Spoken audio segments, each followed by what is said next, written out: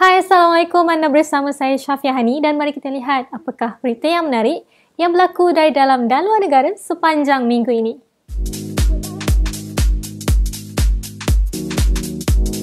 Berita minggu ini dimulakan dengan pelancaran beberapa peranti terbaru daripada Xiaomi. Antara peranti yang diperkenalkan adalah Xiaomi Mi CC9 Pro yang mana ia turut dikenali sebagai Xiaomi Mi Note 10 untuk pasaran global. Peranti ini dilengkapi dengan skrin 6.47 inci, dijana dengan chip Snapdragon 730G, pilihan memori sehingga 8GB RAM dan storan 128GB. Melengkapkan peranti adalah 5 lensa kamera utama gabungan 108, 12, 20, 5 dan 2 megapiksel kamera swafoto 32 megapiksel dan bateri sebesar 5620 mAh. Buat masa ini, tarikh penawaran peranti untuk pasaran tempatan masih belum diumumkan lagi. Pada minggu ini juga, Xiaomi turut memperkenalkan peranti di bawah siri Redmi Note iaitu Redmi Note 8T. Ia menampilkan skrin 6.39 inci, dikuasakan chip Snapdragon 665, memori 4GB RAM, storan 64GB dan menggunakan 4 kamera belakang gabungan 48 8, 2 dan 2 megapiksel. Setakat ini, ia hanya diumumkan untuk pasaran Eropah sahaja. Mengenai Xiaomi lagi, jenama ini turut memperkenalkan jam tangan pintar pertama yang dinamakan sebagai Xiaomi Mi Watch. Peranti ini dilengkapi dengan sistem operasi Wear OS, menggunakan antara muka MIUI serta mempunyai sokongan eSIM pada peranti. Ia mula dijual bermula 11 November 2019 di pasaran China. Seterusnya, Huawei Malaysia mengumumkan penawaran siri Huawei Mate 30 untuk pasaran Malaysia bermula 15 November ini. Di Malaysia, Huawei Mate 30 ini ditawarkan pada harga RM2,799 dan Mate 30 Pro pula ditawarkan pada harga RM3,899. Selain itu, kacamata pintar Gentle Monster Huawei juga turut ditawarkan bermula 5 November ini. Ia dilengkapi dengan sokongan fon telinga terbina dan akses pembantu maya digital. Bagi yang berminat, ia dijual pada harga RM1,599 manakala Huawei FreeBuds 3 ditawarkan pada harga RM729. Oppo pula minggu ini telah menawarkan telefon pintar Oppo A5 2020 versi 4GB RAM untuk pasaran tempatan.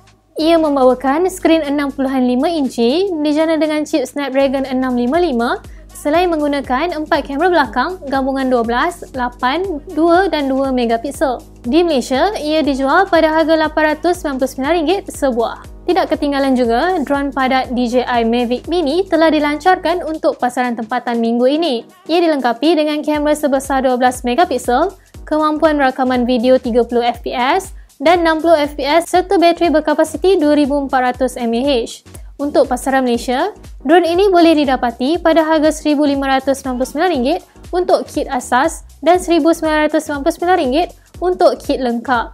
Beralih ke arena aplikasi dan perisian, Adobe mengumumkan beberapa penawaran baru kepada umum. Antara yang diperkenalkan adalah Photoshop Camera. Aplikasi ini membawakan fungsi kamera pintar yang dikuasakan oleh kecerdasan buatan iaitu Adobe Sensei. Walau bagaimanapun, aplikasi ini masih belum terdapat pada Google Play Store dan juga App Store. Bukan itu sahaja, Adobe turut memperkenalkan Adobe Fresco untuk platform Windows. Aplikasi ini memfokuskan kepada penghasilan lakaran dan kesan khas warna pada lukisan.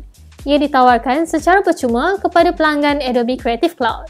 Mengenai Adobe lagi, ia dijangka menawarkan aplikasi Adobe Illustrator dan Adobe Photoshop untuk peranti iPad. Untuk Illustrator, ia akan ditawarkan bermula tahun 2020.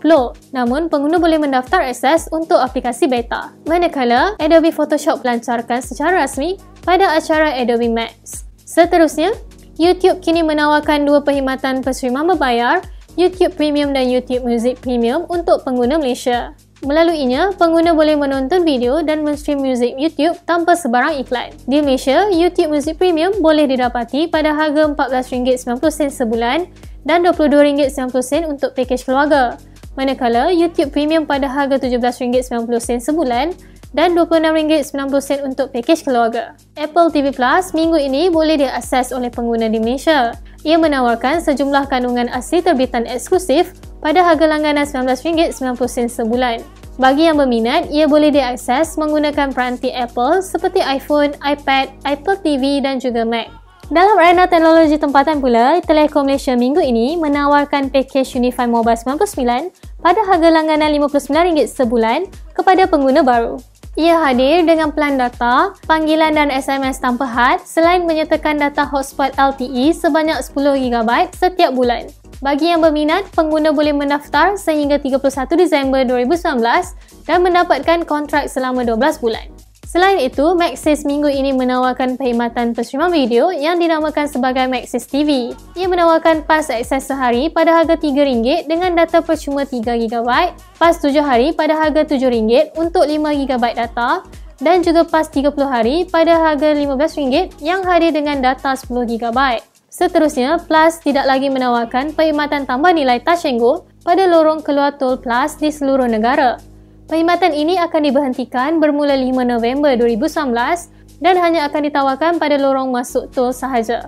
Selain itu, menjelang pengunjung 2019, kesemua tol yang dikendalikan Plus akan mula menyokong sistem Plus RFID.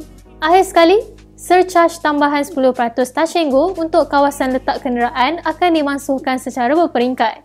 Walau bagaimanapun, kawasan-kawasan letak kereta yang menggunakan touch sahaja sebagai sistem pembayaran tunggal tidak dikenakan surcharge 10% ini. Jadi itu adalah rangkuman ringkas yang berlaku dari dalam dan luar negara sepanjang minggu ini. Kita jumpa lagi untuk video seterusnya. Saya Syafia untuk Amans.